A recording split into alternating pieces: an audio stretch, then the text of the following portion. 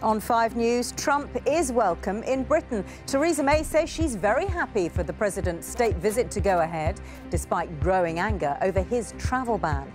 Also, terror in Canada. Six Muslims are shot dead during evening prayers in a mosque. The Tunisia beach attack, the inquest into the deaths of a British couple hears his ambulance was delayed by up to 20 minutes. And she's the woman of the moment. So why is the star of La La Land lashing out?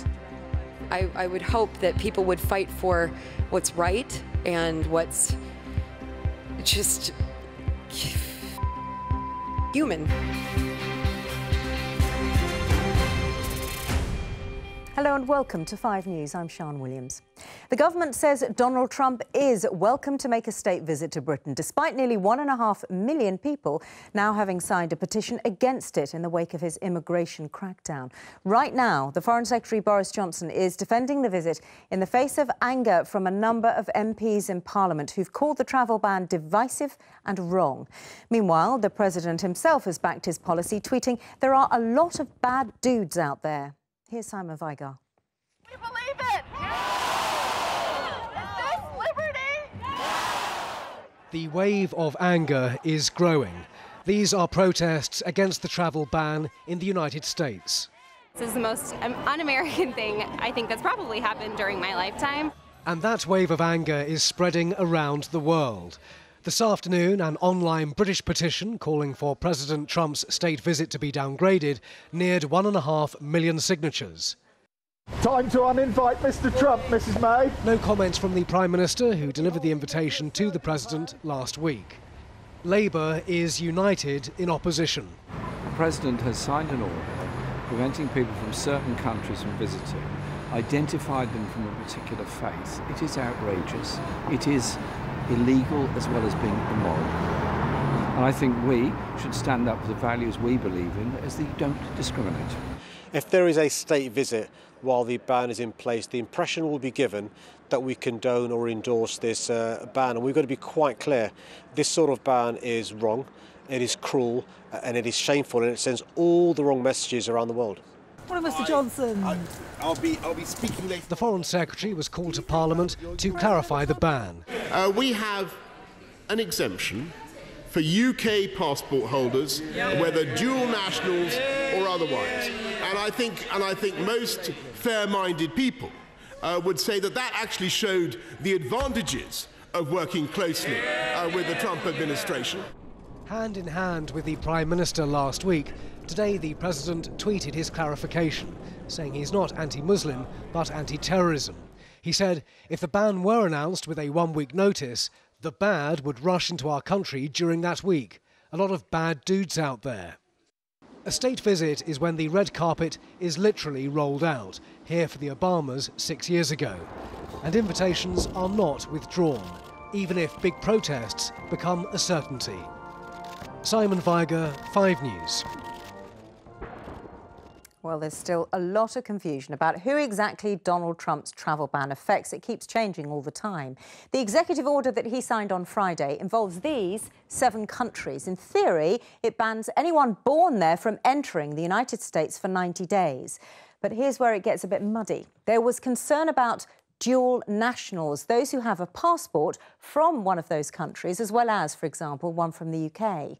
So Mo Farah is one of those, born in Somalia, but has UK citizenship. He was worried he wouldn't be allowed to return to the US, and that's where he lives with his family. Yesterday, the Foreign Office appeared to get some clarity, saying the only Britons who'd be affected are dual nationals who are travelling from one of those seven countries to the US, and they would get some extra checks. But this afternoon, the US Embassy in London issued official guidance which contradicts that, saying all dual nationals are banned no matter where they're travelling from. Let's try to get some clarity. Go to Downing Street. Simon Vigar is there. What's the government been saying about this travel ban, Simon, and who exactly it affects? Well, the Foreign Secretary, Sian, has just been speaking in the Commons and he's contradicted what the embassy said. He said it's exactly the same as yesterday.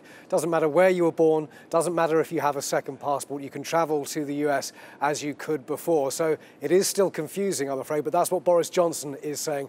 What we don't know is if you start your journey in one of those uh, seven countries, whether you're going to go for extra checks there. But Boris Johnson is adamant it's exactly the same as it was before the weekend. OK, now there are protests planned across the UK in some major major cities tonight about this travel ban, including one around the Downing Street area. Are they likely to make any difference? Well, that petition is uh, nearing one and a half million now, Sian, but uh, this invitation for the state visit is not going to be rescinded. The uh, petition for a second EU referendum got over 4 million signatures, and there's no sign of that uh, happening. The protesters are going to make a lot of noise tonight. They say that the message is uh, clear refugees are welcome, and President Trump is not. He is saying he's simply implementing what President Obama wanted to implement. And uh, Trump can be accused of a lot of things, but on this, he is consistent. He's doing exactly what he said he was going to do. Simon, thanks for that. Well, Donald Trump and his aides deny that the executive order is based on race or religion, but to many, that's not how it feels. Peter Lane has been to Bradford, where there's a mixture of anger and deep concern among people of all religions. At Bradford Central Mosque this lunchtime, prayer and reflection, and no shortage of strong views about President Trump's travel ban. The countries that he's chosen are Muslim majority countries, so for him to claim that it's not a ban on Muslims, um, I don't think it's true. Would you feel happy, safe to go to America? No, no, no, definitely not. You wouldn't go. You wouldn't try no, to go. No, no, no, no, no. Every uh, bureaucracy, every government have right to. Uh, to depend to uh, to defend. He can do what he wants. You respect him. Yes, you respect well, his I position. Respect. Yes, it's all right. As a British Muslim, are you worried about I'm your for, travel? I'm worried for everybody's. Now Muslim, a Christian, Hindu, Jews. Everybody. Everybody's. Equally concerned about a wider ripple effect, representatives from Britain's Jewish community visiting the mosque today to enhance cohesion. America has just sent a message that is taken as a gesture of evil intent towards Muslims or people just because of the country they live in. It's going to have a, drastic impact on communal relations, and we all need to come together to, to deal with this as a community. And even though he's the most powerful man on the planet, we need to tell him that it's wrong. Do you believe Donald Trump when he says this isn't about religion? In fact, it's about security. I just don't believe Donald Trump full stop. So I'm, I'm not sure where he is at the moment, who's advising him. Uh, and uh, I, I think uh, we need to take this very, very seriously. Questions and concerns at one mosque in one corner of the country. President Trump's decision making process already prompting reaction here long before the man himself arrives in the UK. Peter Lane, 5 News. To the day's other news now. And the Prime Minister of Canada has condemned what he says was a terrorist attack on a mosque in the city of Quebec, which killed six people.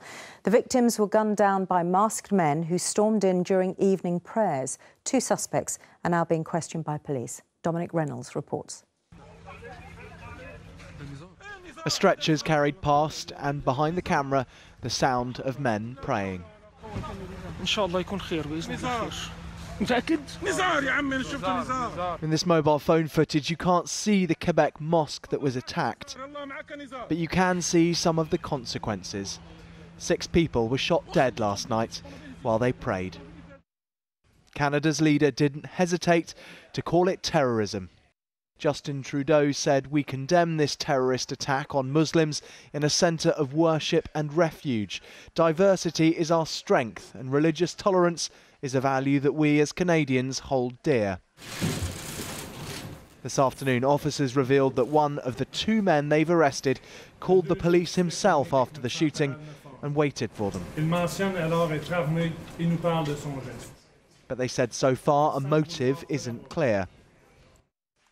This is a picture of the inside of the Quebec Islamic Centre two years ago. It's thought last night 50 people were in the room when the shots were fired. Eight are in hospital. The mosque had been a target of hate before. A pig's head was left at the doors last June with the message Bon Appetit. Quebec City today has been hit by terrorism. From the Premier of Quebec last night, a message of solidarity. I want to say a few words to our fellow Quebecers, Muslim Quebecers. We are with you. This is your home. You're welcome here. We are all Quebecers.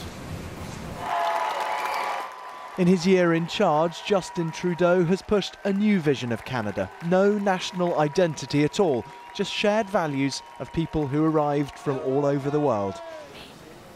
This attack doesn't match that vision. Police say extra security is being sent tonight to protect mosques across Quebec. Dominic Reynolds, 5 News. Coming up on 5 News. A nurse gives evidence of ambulance delays at the inquest into the deaths of British holidaymakers killed in Tunisia. And why the stars are hitting out at Donald Trump. Making sure that they're working. It's really sad that the voice of divisiveness, you know, can prevail over the one of unity. So I hope, I'm glad that there's people on the streets with courage to, to be out there expressing that, expressing love. We'll see you after the break.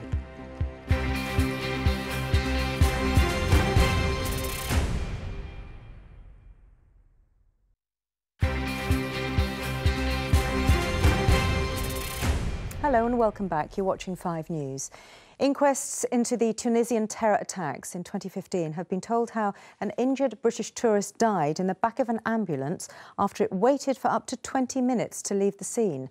66-year-old James McQuire was shot alongside his wife Anne while on their first holiday since retirement. She died immediately. Their story was told as the inquest continued to hear evidence about each of those who died. Layla Hayes was at the Royal Courts of Justice. Anne and James McGuire were on holiday when the attack happened. They had got a last minute deal to Tunisia. Both were shot near the hotel's swimming pool as they tried to flee gunman Seifeddine Rezgui. Anne died at the scene. James died on the way to hospital. Today, the court heard from Carol Harrison, who was on holiday with her husband Brian at the time. She told the court that as a nurse, she'd tried to help James McGuire as he lay injured, but that he later died in an ambulance.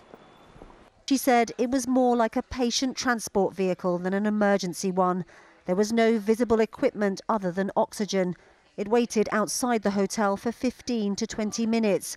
I asked several times, can we go? This man is having trouble breathing and needs to get to hospital.